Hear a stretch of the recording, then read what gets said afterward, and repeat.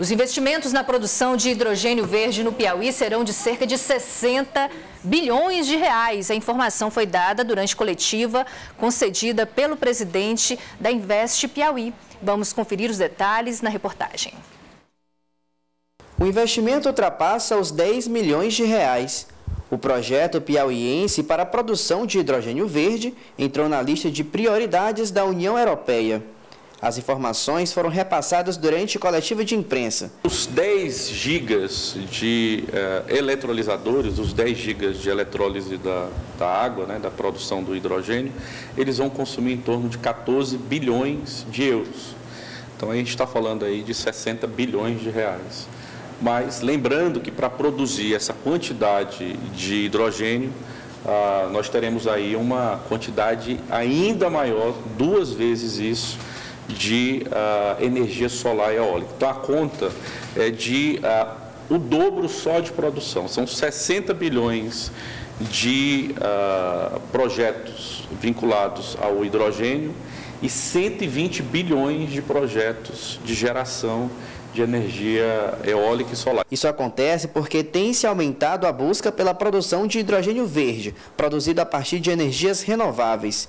A região nordeste do Brasil conhecida por sua abundância em energia solar e eólica, ganha destaque na visão dos estrangeiros. E dentre os estados com maior possibilidade de produção, o Piauí saiu na frente.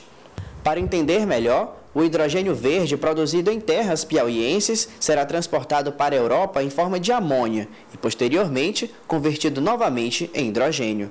O projeto piauiense apresentado à União Europeia deve ser iniciado em 2027.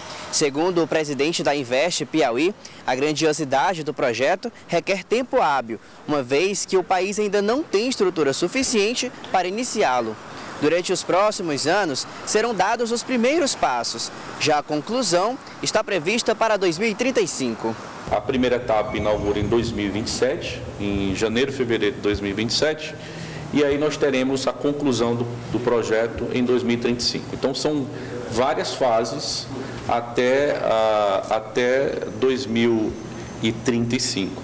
O, o anúncio principal desse projeto será feito no dia 13 de dezembro, então informações adicionais, os empresários estarão no dia 13 de dezembro no Porto, no, na inauguração do Porto de Luiz Correia, onde eles também já irão apresentar as informações uh, mais precisas desse projeto. Né? Lembrando aí que o governo, por uma questão de, uh, de assegurar a competitividade desse projeto, a gente, uh, de certa forma, está preservando as informações dos investidores para que possam ser anunciados em mais detalhes todos esses